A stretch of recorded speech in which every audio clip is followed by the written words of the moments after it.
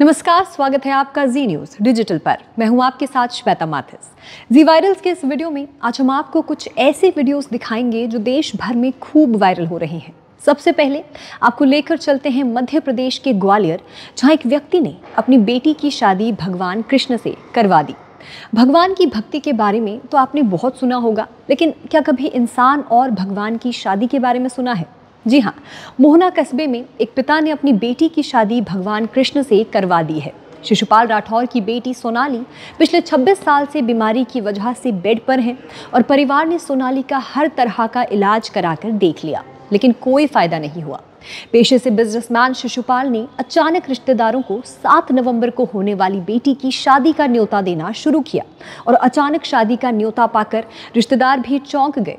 खैर, सभी रिश्तेदार सोनाली राठौर की शादी में पहुँच गए। सामान्य शादी की तरह सोनाली की मेहंदी हुई, बारात आई, दावत हुई, फेरे हुए और विदाई भी हुई। और विदाई के बाद भाई सोनाली को घर वापस लेकर आया। लेकिन सोनाली की गोद में थे कृष्ण कन्हैया। परिवार को उम्मीद है कि कन्हैया को बेटी सौंपने के बाद अब वही उसे सहारा देंगे। और उन्हें आशा है कि भगवान कृष्ण की कृपा होगी और सोनाली की बीमारी ठीक हो जाएगी। अब आइए रुख करते हैं हरियाणा के कुरुक्षेत्र की ओर। गेहूँ उगाने के लिए किसान जी तोड़ मेहनत करता है और कड़ी मेहनत के बाद खेत में पैदा हुए गेहूँ को गोदामों में स्टोर किया जाता है। दरअसल गोदामों में गेहूँ को इसलिए स्टोर किया जाता है ताकि गेहूँ सुरक्षित रहे। लेकिन कुरुक्षेत्र के गोदामों में स्टोर किया गया 50 करोड़ रुपए का गेहूँ सड़कर बर्बाद हो गया। जिला खाद्य एवं आपूर्ति विभाग ने स्वीकार किया है कि पच्चीस हज़ार मेट्रिक टन गेहूँ सड़ गया है। ये जो गेहूँ सड़ा है, वो 2018 और 19 में स्टोर किया गया था। अब गेहूँ सड़ने से गुस्साए किसानों की मांग है कि दोषियों के खिलाफ कड़ी कार्रवाई की जाए। जिला खाद्य एवं आपूर्ति नियंत्रक सुरेंद्र सैनी ने बताया कि जिम्मेदार अधिकारियों और कर्मचारियों के नाम हेडक्वार्टर भेज दिए गए हैं। और अब हेडक्वार्टर से जो भी आदेश आएँगे, उसके हिसाब से दोषियों पर कार्रवाई की जाएगी। अगली खबर उत्तर प्रदेश के जौनपुर की है, जहाँ शौक के लिए बारहवीं के छात्र ने कार को हेलीकॉप्टर बना दिया। आपको विस्तार में पूरा मामला बताते हैं।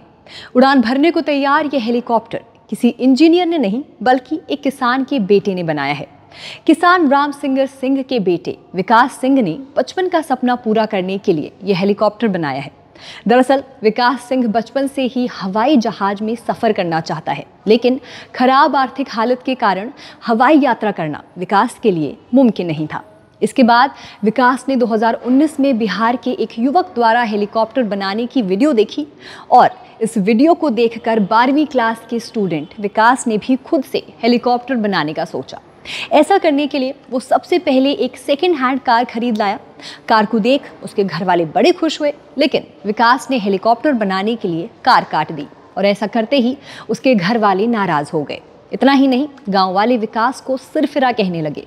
विरोध होते देख विकास अपना बेलवा रामसागर गाँव छोड़ मड़ियाहू कस्बे में किराए पर रहकर अपना सपना पूरा करने में जुट गया और आज विकास उस काटी गई कार को हेलीकॉप्टर की शेप देने में कामयाब हो गया है। विकास के भाई विनय कुमार सिंह भी खुश होते हुए बताते हैं कि पहले जो भाई को पागल बताते थे, आज वही लोग हेलीकॉप्टर का वीडियो बना रहे हैं। यह हेलीकॉप्टर नुमा कार उड़ तो नहीं पाती है, लेकिन विकास को भरोसा है कि जल्द ही इस हेलीकॉप्टर को वो उड़ाने में भी कामयाब हो जाएँगे। आगे बढ़ते हैं और आपको लेकर चलते हैं विदिशा, मध्य प्रदेश। शमशाबाद तहसील के सकतपुर गाँव में दिव्यांग शिबू दो साल से घर के लिए परेशान हो रहे हैं। दो साल पहले पीएम आवास कुटर योजना में शिबू का नाम आ गया था। लेकिन पीएम आवास योजना के तहत दो साल से कोशिश के बाद भी शिबू को अभी तक मकान नहीं मिला है।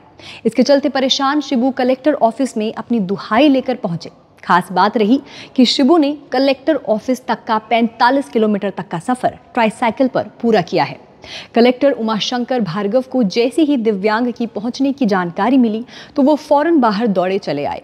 इसके बाद कलेक्टर साहब ने शिबू की पूरी बात सुनी और तुरंत जिला पंचायत सीईओ से लेकर सभी ज़रूरी अधिकारियों को फ़ोन लगाया।